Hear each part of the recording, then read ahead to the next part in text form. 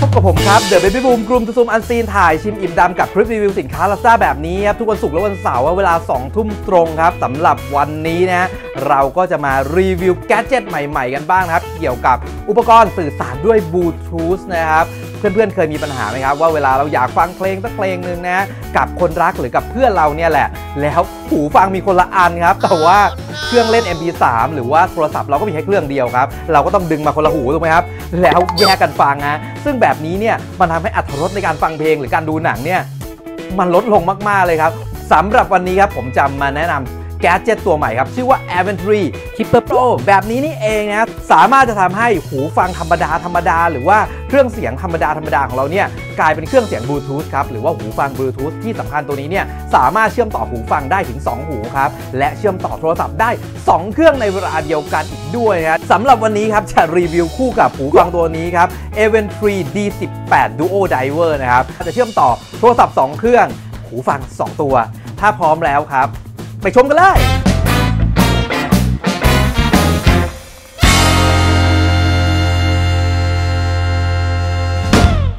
สำหรับตอนนี้เราก็จะมาแกะกล่องครับของ 2 ชิ้นนะครับ จาก a v e n t r y นะตัวแรกก็จะเป็นตัวหูฟังแบบ In-Ear Duo Diver นะครับนะรุ่น D18 นะแล้วก็อีกตัวหนึ่งครับ ก็จะเป็นตัว Clipper Pro ฮะสำหรับแปลงตัว วิทยุหรือหูฟังของเราต่างๆเนี่ยชุดเครื่องเสียงเนี่ยให้เป็นชุดเครื่องเสียงที่เป็นบลูทูธครับทั้ง 2 ตัวเนี่ยก็มีการรับประกันจากผู้ขายด้วยนะฮะตลอด 1 ปีนะครับมีเบอร์โทรศัพท์ ติดต่อให้เรียบร้อยเลยครับ ไม่ต้องกังวลว่าของมีปัญหาจะเคลมยังไงติดต่อที่ไหนนะที่นี่รับประกันให้ 1 ปีนะครับอะไม่ต้องเสียเวลาครับ เรามาแกะกล่องดูกันก่อนเลยสำหรับตัวหูฟังอินเอียร์นะครับ ตัวนี้ก็ถือว่าเป็นรุ่นโปรนะครับเป็นตัว Duo Diver นะครับ ก็เพิ่มกำลังขับเนี่ยเป็น 2 เท่ากันเลยทีเดียวนะข้างในนะครับก็จะเป็นหูฟังแบบนี้นะก็มีสายยาง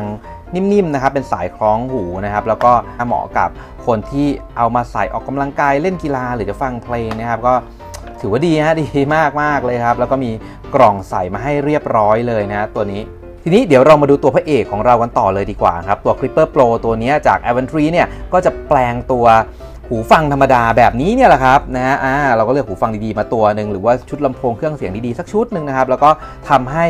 ตัวเครื่องเสียงของเราเนี่ยกลายเป็นระบบบลูทูธครับซึ่งตัวนี้จุดเด่นของมันนะฮะเจ๋งมากๆครับ มันสามารถต่อโทรศัพท์นะครับ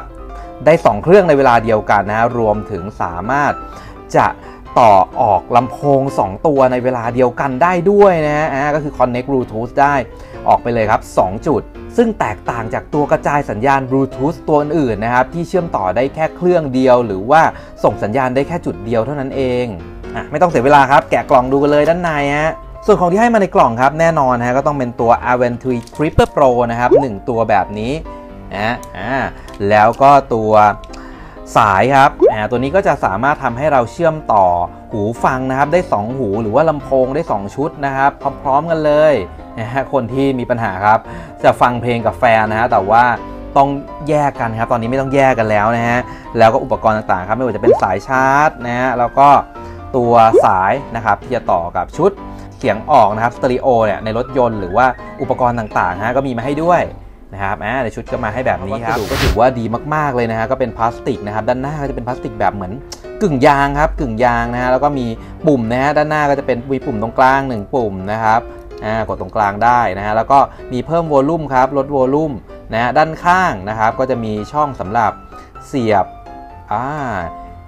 สายชาร์จครับ แล้วก็อีกข้างหนึ่งก็จะเป็นปุ่มสวิตช์เปิดปิดนะฮะ โดยไมค์เนี่ยก็จะอยู่ตำแหน่งตรงนี้นี่เองนะครับ เพราะนั้นตัวนี้เนี่ยสามารถเป็น small talk ได้ด้วยในตัวนะครับสำหรับตัวที่แปลงสัญญาณนะครับ จากหูฟัง 1 อัน เป็นหูฟัง 2 อันนะครับ วัสดุก็ถือว่าดีมากๆนะฮะเป็นพลาสติกแบบเงาๆแบบนี้เนี่ยแหละนะครับแล้วก็วิธีใช้คือแค่เสียบเข้าไปตรงด้านบนนี้แค่นี้ครับเราก็สามารถต่อหูฟังนะครับ หรือต่อละออกลำโพงได้ 2 ชุดแล้วนะฮะ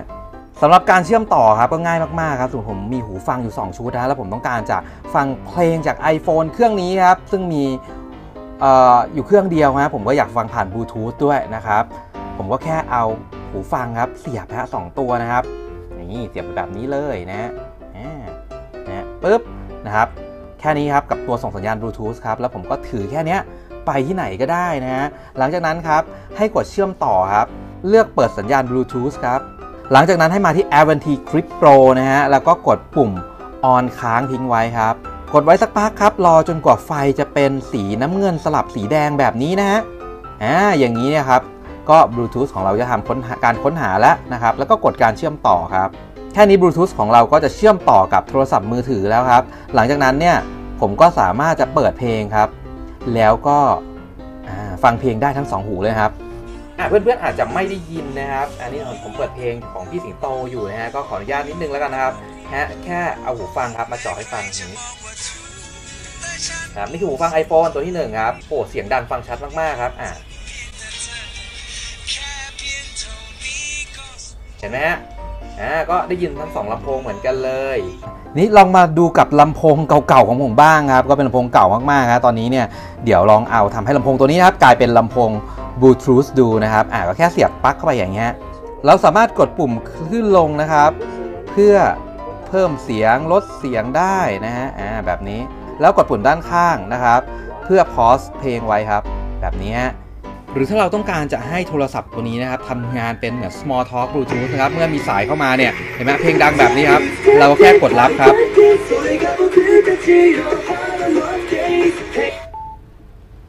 เมื่อกดรับสายครับมันก็จะเข้ามาเป็นลำโพงบลูทูธแบบนี้นะครับ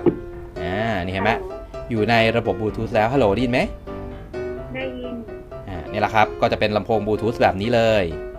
หลังจากเราเชื่อมต่อสัญญาณบลูทูธครับกับโทรศัพท์ตัวที่ 1 เสร็จเรียบร้อยแล้วนะฮะตอนนี้ แล้วหากเราต้องการจะเชื่อมต่อโทรศัพท์อีกเครื่องหนึ่งครับ ก็ให้เรากดปุ่มค้างไว้นะฮะอ่าให้เป็นไฟกระพริบ2 สีก่อนนะครับ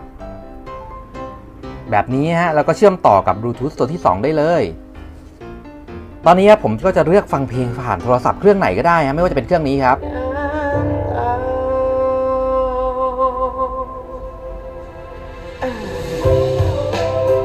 หรือว่าเครื่องนี้ครับ